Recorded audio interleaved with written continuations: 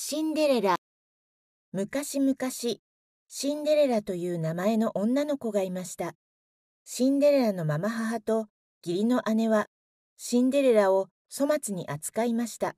掃除をさせ、料理をさせ、暖炉の灰を毎日きれいにさせました。